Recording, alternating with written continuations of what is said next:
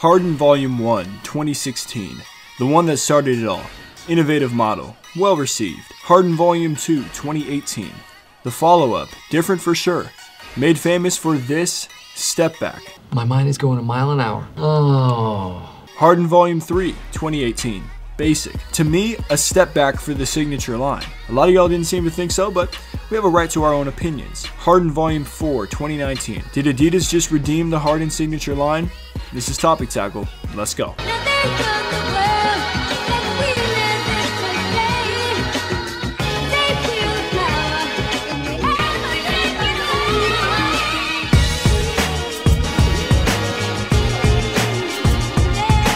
What's good people, JC3 here, and I want to let you know that patience pays off, alright? The Harden Volume 4 dropped a little over two months ago on October 12th, and I'm just making this video now because, well, I needed time to process my thoughts and come to a definite conclusion. I've tried the shoe out multiple times, I've read up on the tech, and I've watched James Harden himself talk about it. The most important thing for me, make sure it's durable, making sure that I, you know, when I'm doing my step backs and euro steps and crossovers and all that good stuff, that the shoe feels like it's, you know, it's still on my feet and it's basically going wherever I go. And my first reaction was a flop. I'd only seen it in this team gray colorway and it looked cheap to me.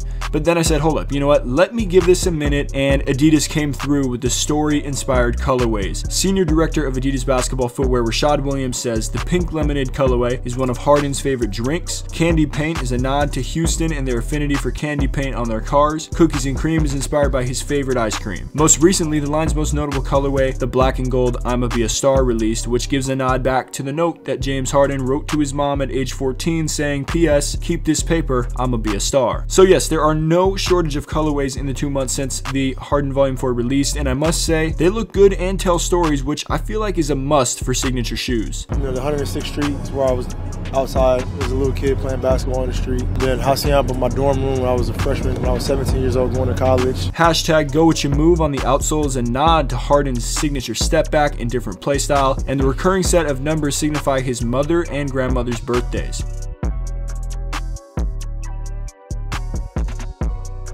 I made it known in my review of the volume 3 of the lack of innovation I saw in the model. The lack of innovation came not only in the aesthetic of the shoe, but the tech specs as well, which are the most important aspect of a shoe as they relate directly to on-court performance. Adidas wisely ditched the thin, nearly non-existent boost in the heel for Light Strike and relocated the non-adjustable midfoot strap under the laces. Light Strike has been in the works for five years at Adidas, and the transition to it in Harden's signature line has been in the works for about two years now, as this is how far far out the Adidas design team begins to work on Harden's shoes. Lightstrike foam is Adidas' newest cushioning innovation and has only been featured in the laceless next level model. It is roughly 40% lighter than a traditional EVA foam while providing response and cushioning similar to top EVAs. James has always logged a lot of minutes and this was on the forefront of Williams' mind while designing the shoe, and by abandoning the boost, the Volume 4 becomes the lightest Harden to date. And personally, I like the feel of the Lightstrike cushioning. It isn't too soft where you lose all response, and it isn't too hard hard to where it feels non-existent. A couple more tech specs, the outsole remains 3D printed, mapping out the areas where Harden applies the most pressure. A new customizable lacing system dawns itself on the medial and lateral sides of the shoe. Williams and his design team sketched out different ideas on where this lacing system should be and extend to, and I believe they made the right choice by placing it where it is. When the lacing system extends down too far, like right above the outsole, it can cause some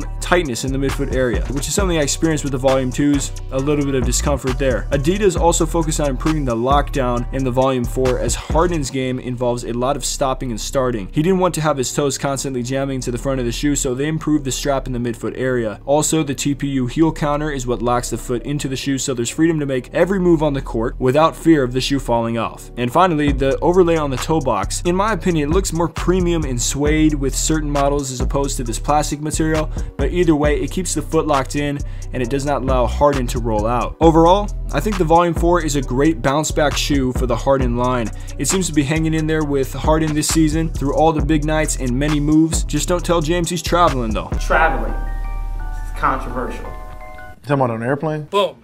Roasted. So let me know your thoughts on the Harden Volume 4 in the comments down below, and we'll be back with more Topic Tackle coming soon. Stay solid, people.